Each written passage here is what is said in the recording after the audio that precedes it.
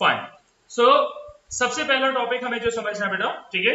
Number of share applied कैसे calculate करते हैं और नंबर ऑफ़ शेयर अलॉटेड कैसे कैलकुलेट करते हैं?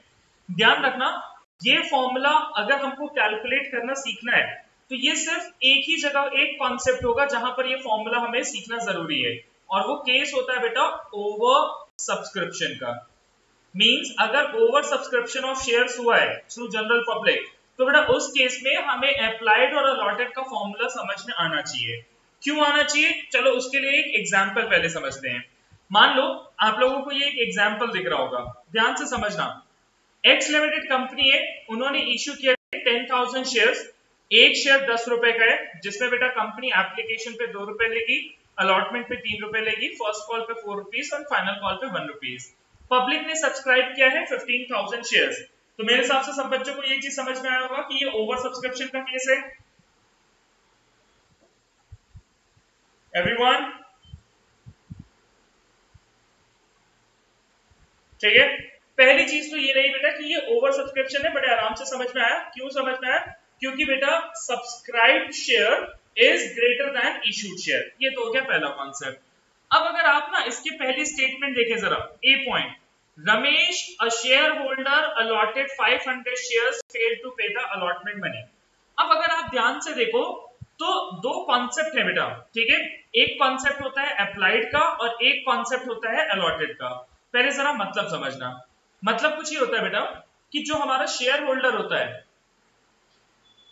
वो शेयर को क्या करेगा बेटा? अप्लाई या अलॉटेड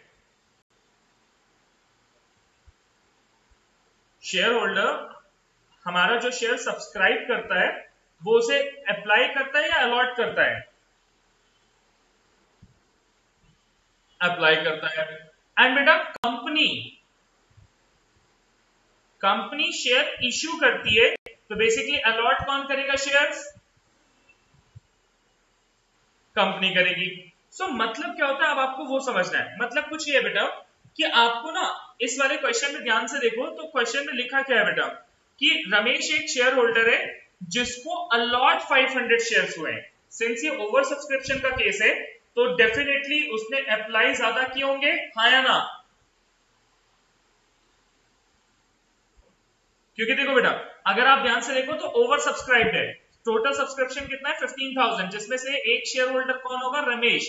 अब रमेश का आपको यह पता है कि उसने कितने शेयर उसको कितने शेयर अलॉट हुए हैं। लेकिन आपको ये नहीं पता कि उसने कितने शेयर अप्लाई किए हैं। एंड बेटा, उसके लिए फिर हमें एक फॉर्मूला समझना होगा। हमें उसका फॉर्मूला समझना होगा कि उसने कितने शेयर अप्लाई किए हैं। एंड बेटा नंबर ऑफ़ शेयर अप्लाइड का फॉर्मूला होता है total share applied upon total share allotted into number of share allotted to share holder अब ध्यान से समझना बेटा। कुछ कीवर्ड्स हैं, ध्यान से समझ लेंगे आप लोग। टोटल अप्लाइड यानी पब्लिक ने टोटल अप्लाई कितने किए तो बेसिकली हम यहाँ पर कौन से शेयर्स की बात कर रहे हैं? Total subscribe share and total allotted मतलब कंपनी अलॉट करती है। तो बेटा कंपनी अलॉट करती इसका मतलब क्या होता है? कंपनी क्या करती है? कंपनी क्या करती है? इश्यू करती है। अब इसका मतलब यहाँ पर ये हुआ बेटा, ठीक है, ध्यान से समझना, ठीक है, ध्यान से समझना इसका मतलब क्या हुआ। इसका मतलब ये हुआ बेटा कि रमेश की अगर हम बात करें तो रमेश ने अलॉट रमेश को कितने हुए? 500 शेयर तो हमें उसका फाइंड आउट करना होगा कि रमेश के अप्लाइड शेयर कितने हैं। रमेश के अप्लाइड शेयर कितने हैं। तो बेटा जी, जरा फॉर्मूला देख करके बताएँ। टोटल शेयर अप्लाइड पब्लिक ने टोटल कितने शेयर अप्लाई किए थे? यानी टोटल कितने सब्सक्राइब किए थे? Okay total share allotted company ने टोटल कितने शेयर अलॉट किए बेटा? यानी टोटल कितने इश्यू किए थे? Into number of share allotted Ramesh को कितने शेयर अलॉट हुए थे? 500 अब अगर हम इसे सॉल्व करें बेटा, ठीक है? अगर हम इसे सॉल्व करें। तो यहाँ से निकल के आ जाएगा कि उसको, उसने कितने शेयर अप्लाई किए थे?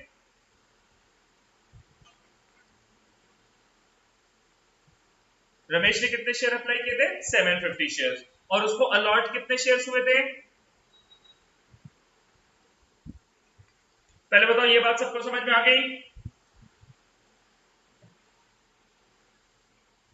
Okay okay. देन उसके बाद बेटा, एक और शेयर होल्डर है, सुरेश। सुरेश का आपको क्या मेंशन है बेटा? कि सुरेश ने अप्लाई 1200 शेयर्स के लिए किया है, ठीक है? लेकिन उसको अलॉट कितने हुए ये चीज़ पता चला आपको? ओके तो हमें उसका क्या फाइंड आउट करना होगा बेटा? Number of shares allotted formula is total share allotted तो बेटा टोटल शेयर अलॉटेड मतलब टोटल कितने शेयर कंपनी ने अलॉट यानी इश्यू किए थे? टोटल कितने इश्यू किए थे? Ten thousand divided by total share applied यानी पब्लिक ने टोटल कितने शेयर अप्लाई किए थे? Fifteen thousand into number of share applied Suresh ने कितने शेयर अप्लाई किए थे बेटा? ट्वेल्व हंड्रेड अब हम इसे सॉल्व कर लेते हैं। So again this will be 800 right right so so, बेटा यहाँ से ये निकल के आ जाएगा कि रमेश सुरेश ने अप्लाई 1200 के लिए किया था लेकिन अलॉट 800 शेयर्स हुए हैं। तो क्या सारे बच्चों को ये फॉर्मूला समझ में आ गया? टोटल शेयर अप्लाइड और टोटल शेयर अलॉटेड वाला?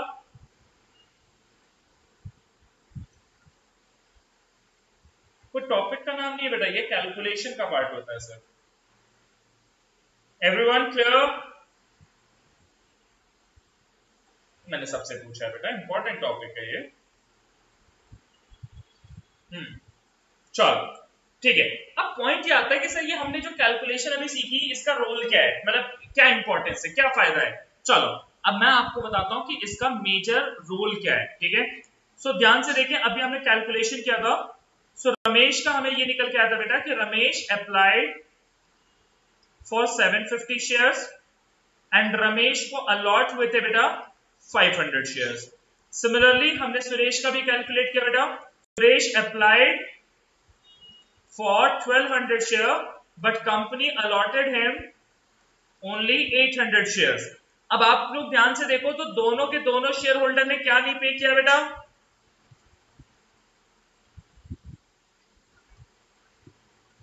क्या नहीं पे किया है? अलॉटमेंट कॉल ठीक है? अब ध्यान से समझना। अब एक बात बताओ ओवर सब्सक्रिप्शन का केस है ये चीज़ अगर आप ध्यान से देखो तो बड़े आराम से आपको देख के समझ में आ रहा होगा कि ओवर सब्सक्रिप्शन का केस है क्योंकि सब्सक्राइब ज़्यादा किया है कंपनी ने इश्यू कम किए थे राइट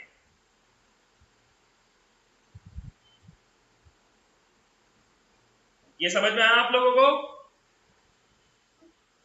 फाइन ओके okay, अब मैं कुछ पूछूँगा आप जवाब देंगे। सबसे पहले रमेश की कैलकुलेशन मैं करूँगा सुरेश की कैलकुलेशन आप लोग करेंगे बेटा।